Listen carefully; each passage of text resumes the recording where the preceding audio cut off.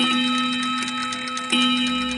Melvin Calvin Melvin Ellis Calvin अमरीकी biochemist थे, जिन्हें केमिस्ट्री में नोबेल इनाम से नवाजा गया। केमिस्ट्री में कैल्विन साइकिल इनकी मशहूर दरियाफ्त है, जिसने साइंस को नए दौर से मुतारिफ कराया। इस साइकिल में फोटोसिंथेसिस के तीन नए फ़ेज़ सामने आए। फोटोसिंथेसिस वो अमल है जिसमें जानदार सूरज की रोशनी से मिलने वाली तवानाई को जज्ब करके इसे कीमियाई तवानाई में तब्दील कर देती हैं। ये अमल बड़े पैमाने पर पौधों की पत्तियों में अंजाम पाता है और इसके लिए पत्तियों में मौजूद सब्ज मादा क्लोरोफिल निहायत ज़रूरी है। पौधों के अलावा कुछ जरासीमों और एलजी में भी ये अमल होता है। कैलविन की दरियाफ्त से कबल साइंसदानों का मानना था कि सूरज की रोशनी पौधों में मौजूद कार्बन डाइऑक्साइड पर अमल करती है, जबकि ये हकीकत कैलविन ने साबित की कि सूरज की रोशनी कार्बन डाइऑक्साइड की बजाय पौधों में मौजूद क्लोरोफिल पर काम करती है। इस दरियाफ्त में कैलविन के साथ अमरीकी बायोलॉजिस्ट एंड्रयू बेंसन भी थे। कैलविन ने बायोलॉजिकल और फ़िज़िकल केमिस्ट्री में भी कई ईजादात की। उनकी तहकीक का ज़्यादातर काम हाइड्रोजन के गिर्द रहा। केमिस्ट्री की दुनिया में उनका दूसरा बड़ा काम electronic structure of organic molecules का है। उन्होंने न्यूक्लियर फिजन के दौरान प्लूटोनियम और यूरेनियम को अलहदा भी किया। इस तरीके से एटमी हथियारों की तैयारी के लिए भी मदद ली गई। मेलविन कैलविन 8 अप्रैल 1911 को पैदा हुए और 8 जनवरी उन्नीस सौ सत्तानवे को वफात पाई।